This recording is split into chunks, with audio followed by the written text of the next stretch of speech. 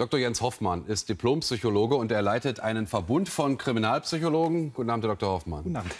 Wir hören ja jetzt sehr viel in letzter Zeit über die Abgründe der menschlichen Psyche. Wie oft kommt es denn vor, dass jemand, der Selbstmordgedanken hat, weil er mit sich selbst nicht klarkommt, dann auch noch andere Menschen mit ins Verderben reißen möchte? Also es passiert ganz selten, dass jemand, der Suizidgedanken hat, noch andere mitreißt.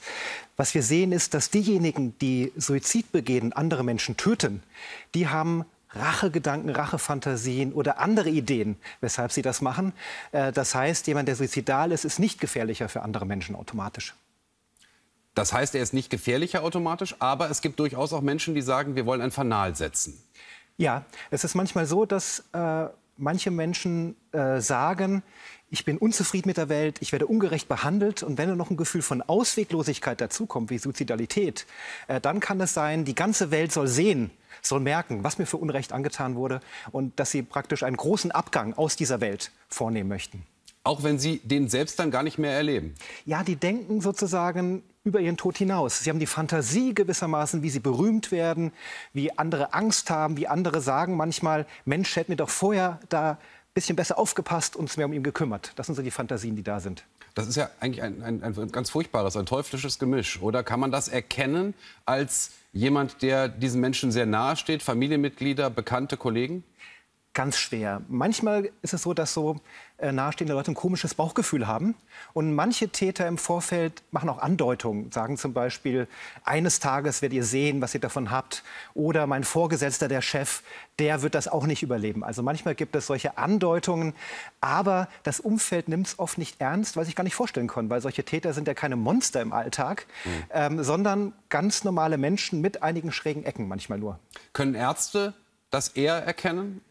Also sehr schwierig, also in so einem kurzen Gespräch äh, so etwas herauszubekommen. Also man braucht dann in der Regel schon ein paar Hintergrundinformationen, ein paar Andeutungen. Also ich glaube, es wäre eine Illusion zu glauben, ich checke jemanden kurz und dann kriege ich es gleich heraus.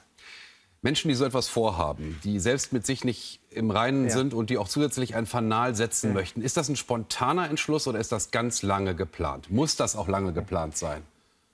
Die absolute Mehrzahl dieser Taten ist geplant über Tage, Woche, Monate, manchmal sogar Jahre. Mhm. Und was ganz typisch ist, dass diese Täter, wenn sie die Tat ausführen, ganz ruhig und ganz kühl sind auch. Das ist eine sogenannte Form der Aggression. Der Jagdmodus der Aggression heißt, die Gefühle werden ausgeschaltet. Der Fokus ist total da auf die Tat. Und das ist ein Hinweis auf eine Planung und Vorbereitung des Mannes. Das heißt, wir haben ja jetzt, wenn man den französischen Ermittlern glaubt, auch im vorliegenden Fall einen Co-Piloten, der das Ganze ganz offenbar sehr kaltblütig bis ja. zum Ende durchgezogen hat und sogar acht, neun, zehn Minuten in diesem Sinkflug war, ja. ohne irgendwie zu reagieren. Das würde aus Ihrer Sicht nicht passen. Genau, die, die, das Gefühl wird dann ausgeschaltet in diesem Modus der kalten Aggression. Und ich bin ganz fokussiert. Das hat evolutionär den Sinn für unsere Vorfahren. Beutejagd, wenn ich da Gefühle hätte, dann könnte ich solche, solche Angriffe auch nicht durchführen. Und man kann so eine Person dann auch nicht mehr erreichen, durch, von außen. Also, dass man sagt, hör auf, äh, was machst du da? Extrem schwer, weil dann ist der Entschluss eigentlich schon lange gefasst und dann sind sie komplett darauf fokussiert und sie haben eben auch kein, keine Gefühle, kein Mitgefühl mehr auch. Jetzt gibt es ja aktuell eine Diskussion in den deutschen Medien. Soll, muss man vielleicht sogar den vollen Namen des Co-Piloten nennen, sein Foto komplett erkennbar zeigen, ja oder nein? glaube, es ist unstrittig, dass über so einen Vorfall ja. berichtet werden muss. Das ist ganz klar, auch über die Person. Ja. Aber wie sehen Sie das aus Ihrer Sicht? Wie viel müssen Medien, sollten Medien da zeigen? Ich bin sehr froh, dass Sie es ansprechen. Das Schlimme ist, wenn jemand durch eine solche Gewalttat berühmt wird. Und zwar, indem man sein Gesicht sieht und seinen vollen Namen liest. Das motiviert manche Täter, die dann die Fantasie haben, ich werde Geschichte schreiben, jeder kennt mich, jeder kennt meinen Namen und kennt mein Gesicht. Und wenn man dann schon darauf achtet, dass man äh, entindividualisiert die Gesichter verpixelt und die vollen Namen nicht nennt, ist ein großer Fortschritt und kann spätere Taten verhindern. Sagt der Diplompsychologe Jens Hoffmann im ZDF Heute Journal. Herzlichen Dank, dass Sie heute Abend bei uns waren. Gerne.